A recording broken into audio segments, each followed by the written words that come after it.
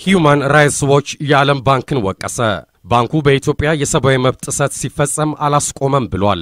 የዓለም ባንክ ለኢትዮጵያ የሚሰጠውን የልማት ፈንድ መንግስት ለህገወጥ ሰፈራና ለሰብአዊ መብት ጥሰት ይጠቀምበታል በሚል በተደጋጋሚ ጊዜ ውንጀላ ሲቀርብበት ቆይቷል። ባንኩ ይህ ጉዳይ እንዲጣራ በውስጥ ኦዲተሮች ምርመራም ሲያደርግ ቆይቷል። ይሁን እንጂ ጉዳዩ በባንኩ በይፋ ከመገለጹ በፊት እውነት እንደሆነ የሚያመላክት መረጃ ሾልኮ መውጣቱን ጠቅሰው በርካታ ሚዲያዎች ሰሞኑን መዘገባቸው ይታወሳል።